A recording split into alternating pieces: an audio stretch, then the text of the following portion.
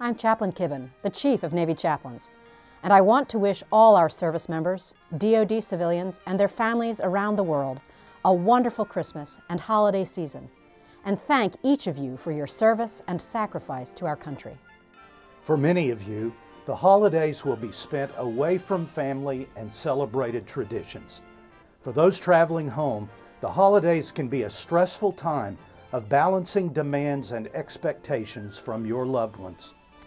I encourage each of you to stay connected with what really matters this season your family and your shipmates, your fellow Marines, as well as your spiritual roots and your relationship with God.